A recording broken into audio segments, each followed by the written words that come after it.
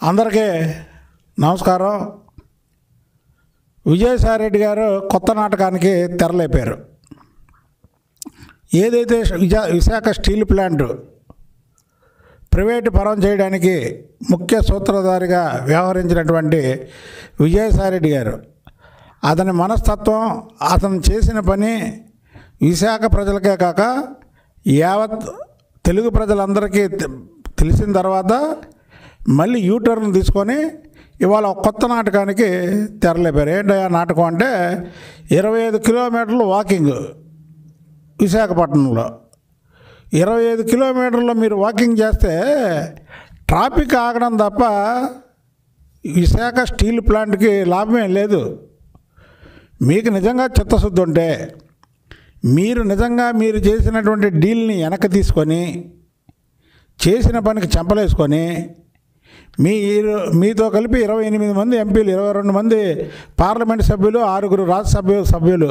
ఇరవై ఎనిమిది మంది ఎంపీలు కలిసి ఢిల్లీలో ఉన్నటువంటి ఆంధ్రా భవన్ ఏదైతే ఉందో ఆంధ్రా భవన్ నుంచి పార్లమెంట్ వరకు పాదయాత్ర చేసుకొని వెళ్తూ మీరు ఈ ప్రైవేటు పరంగానే ఉపసంహరించుకోకపోతే మీ ఇరవై ఎనిమిది మంది కూడా రాజీనామా చేస్తామని రాజీనామా పత్రాలు రాజ్యసభ చేరువైనటువంటి వెంకయ్యనాయుడు గారికి ఆరుగురు రాజ్యసభ సభ్యులు అలాగే పార్లమెంట్కి స్పీకర్ గారు ఉన్నటువంటి వ్యక్తులకి ఇరవై రెండు మంది ఏదో ఒక ఆయన చనిపోయాడు కాబట్టి ఇరవై ఒక్క మంది రాజీనామా చేస్తే దాన్ని ప్రజలు విశ్వసిస్తారు తప్ప మీరు కొత్త నాటకాలు చేసి నేను వాకింగ్ చేస్తాను ట్రాఫిక్ ఆపేస్తాను. విజయ విశాఖపట్నంలో ఈ ట్రాఫిక్ ఆపితే మోడీ గారికి తెలిసిద్దా?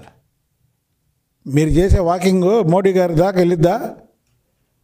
విశాఖ జిల్లా దాటి బయటికి రాదు. విశాఖపట్నం దాటి బయట కూడా మీడియా చూపించదు. మీరు ఎందుకు ఇలాగా? ఒక తప్పుడు సంకేతాలు ఇస్తారు.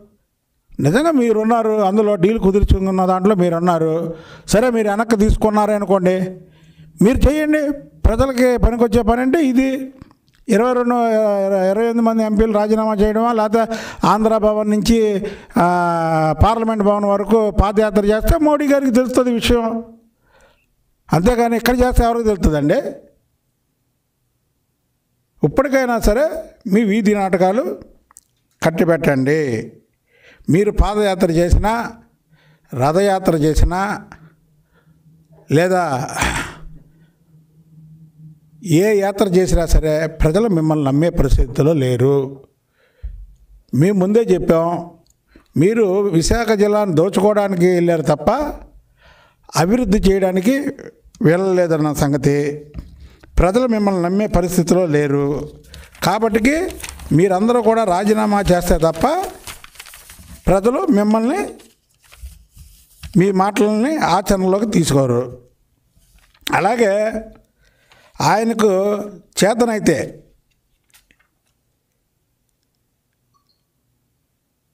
మోడీ గారి ఇంటికాడికి వెళ్ళండి.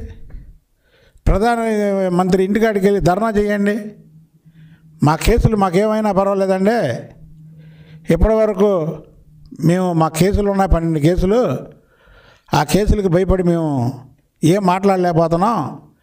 ఇవాళకి విశాఖపట్నం ఒక బ్రాండ్ అంబాస్ అయినటువంటి బ్రాండ్ ఇదైనటువంటి రాష్ట్రానికి విశాఖపట్నం స్టీల్ ప్లాంట్ ప్రైవేట్ పరం చేస్తున్నారు కాబట్టి మేము ధర్నా చేస్తున్నామని వెళ్ళండి అప్పుడు నమ్ముతారు.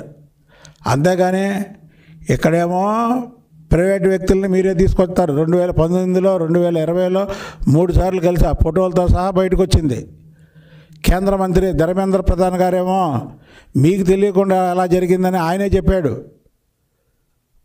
మీరేమో మరుసటి రోజు విశాఖపట్నంలో వరిసే వాళ్ళకి విశాఖపట్నం వాళ్ళంటే పడదని మళ్ళీ ఆయన మీద ఎదురు బాణం వేశారు.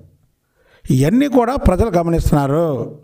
దయచేసి మీరు విశాఖపట్నంలో చేపట్టిన వాకింగ్ మాత్రం ఆపండి. ఎందుకంటే మీరు ప్రజల్ని నష్టపరుస్తున్నారు ట్రాఫిక్ ఇబ్బందులకు గురి చేస్తున్నారు పాదయాత్ర చేసి.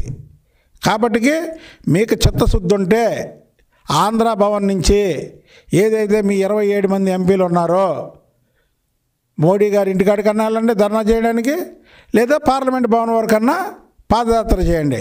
అప్పుడు ప్రజలు నమ్ముతారు తప్ప మీరేదో వీధి నాటకాలు ఆడినట్టు నేను ఒకరోజు పాదయాత్ర చేస్తానని ఒకరోజు అసలు అక్కడ పార్లమెంట్ రాజ్యసభలో క్వశ్చన్ అడిగి ఆయన ఏదైతే మంత్రి గారు ఉన్నారో ఆయన ఆన్సర్ చెప్పే ఆయనకి విశాఖపట్నం రావడం. విశాఖపట్నం వచ్చిన తర్వాత ఆయన మంత్రి గారు చెప్పిన దానికి విశాఖపట్నం ప్రజలంటే పడదాన్ని. మీరు విశాఖపట్నం ప్రజలా? విశాఖపట్నానికి మీకు సంబంధం ఏంటి? విశాఖపట్నాన్ని దోచుకోవడానికి వెళ్ళారు మీరు. విశాఖపట్నాన్ని కాపాడడానికి వెళ్ళా. కాబట్టి మీకు చిత్తశుద్ధి ఉంటే ఇప్పటికైనా మీరు కరెక్ట్గా యూటర్న్ తిరిగితే.